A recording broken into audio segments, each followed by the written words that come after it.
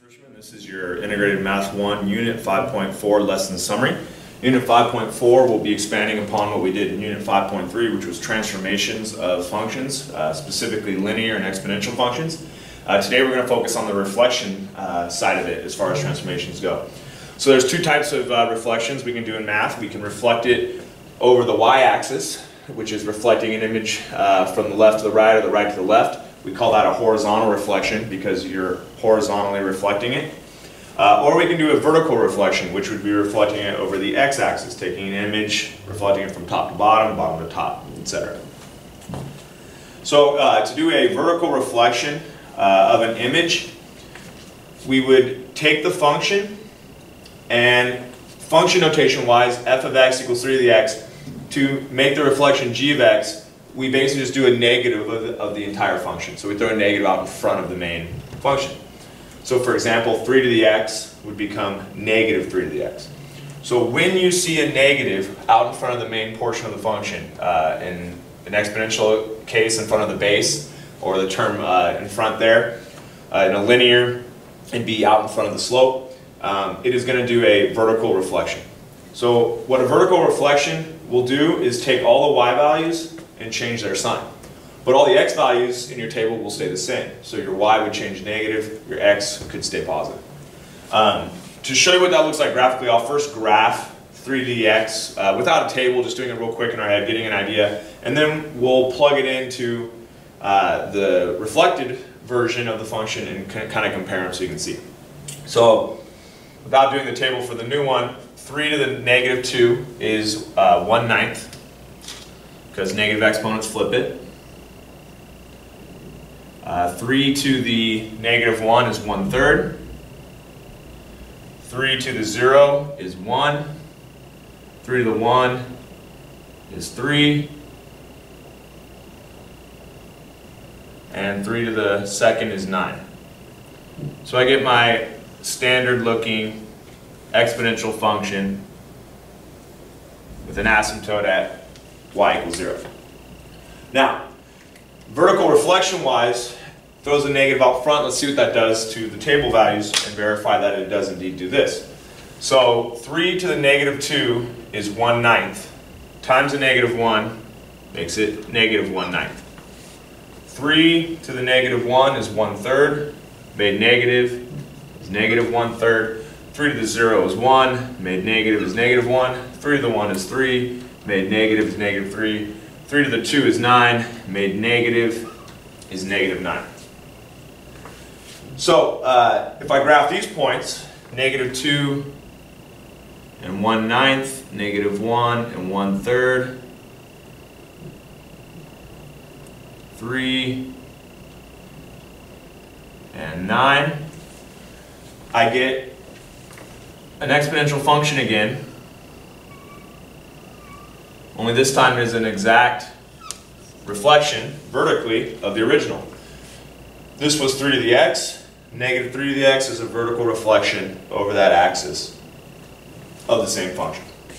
So there are some shortcuts there. If you do have a function and you want to just use the table for that original function and then just change all the signs, you can. Um, for, for most of the beginning ones you do in Integrated Math 1, it's probably better just to use your table for the new function. Um, or just use the transformations as a check there, but that kind of is up to you. Uh, as long as we're aware of the fact that it is a vertical reflection, we'll be good. So negative out front reflects it vertically. Um, let's check, take a look at horizontal. In a horizontal reflection, what's different is if you had f of x and you wanted to do a horizontal reflection, you're actually going to just change the sign of the inside x. So g of x becomes f of negative x. The same exact function, only change the x to a negative. So that would become 2 to the negative x. So in vertical, the negative is outside the main function. In a horizontal, it's the negative is actually um, attached to the input variable x. So what that will do to our function is make all of your original table values flip-flop in the sense that the y's would stay positive, but your x's would stay negative to get those same y values. So if we were graphing by using an original table for 2 to the x and comparing it here, this is what it would do. But again, I think for ease, it's really easier just to go ahead and plug in your same table values that you would normally use into the new function. So let's graph the original function first, 2 to the x, and we'll go ahead and draw the table for that this time. So you can see negative 2, negative 1, 0, 1, 2. In for the original function, 2 to the negative 2 is 1 fourth, 2 to the 1 is 1, 2 to the negative 1 is 1 half, 2 to the 0 is 1, 2 to the 1 is 2, 2 to the 2 is 4. So our original function would look like this.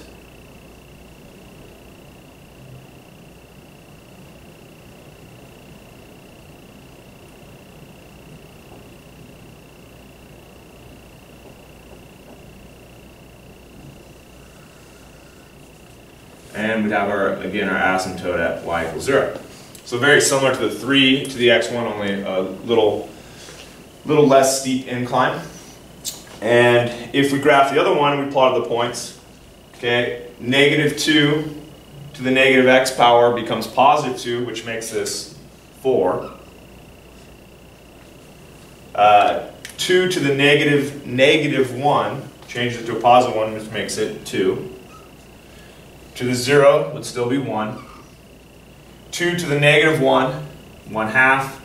2 to the negative 2, 1 fourth.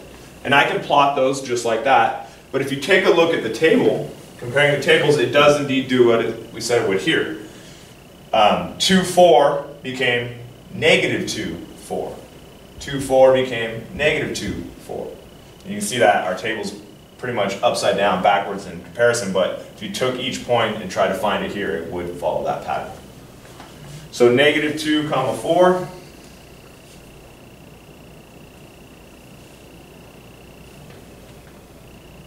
So 1, 2, 3, 4. Negative 1 comma 2.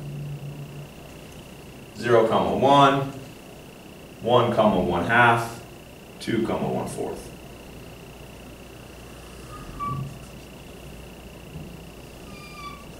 same asymptote. And as you can see, it is indeed a uh, horizontal reflection. It's reflecting over the y-axis, but the shape is reflecting horizontally. So the reflection is coming from the left to the right. And you can see because every point is matching up. And even where they're on the y-axis, the reflection line, the point stayed where it was, which is what happens in reflections.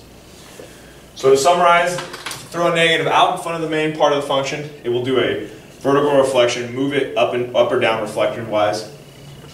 Um, if you change the x itself, the input variable, to a negative, it will reflect it horizontally.